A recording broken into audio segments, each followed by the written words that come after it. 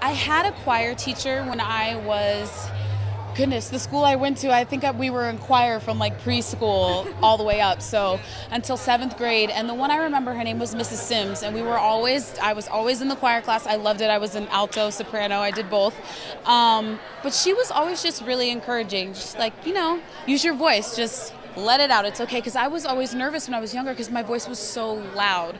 And I was just like, I'm going to scare people, you know, with my voice instead of making them excited. So um, I just remember when I saw Christina Aguilera and, you know, heard Whitney and I heard Mariah and I was just like, they have big voices like me. I'm not, I'm not so crazy. Um, I remember that just being one of those moments where I was like, okay, it's okay to have a big voice.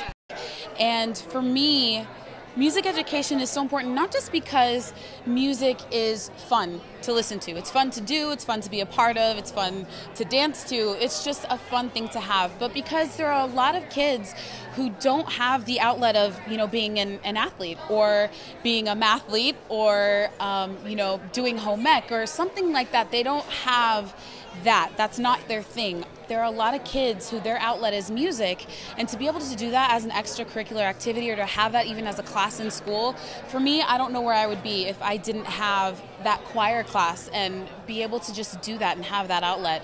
Um, it's so important because what if they take those out? They take those classes out and they're like the first ones to go, and then you have all those kids who don't really know what to do, don't really know what to do with their time after school. And, you know, sometimes having too much time leads into going down the wrong path. So I feel like it's just so important for the kids today. And I feel like I don't think I would be where I am if I didn't have those classes.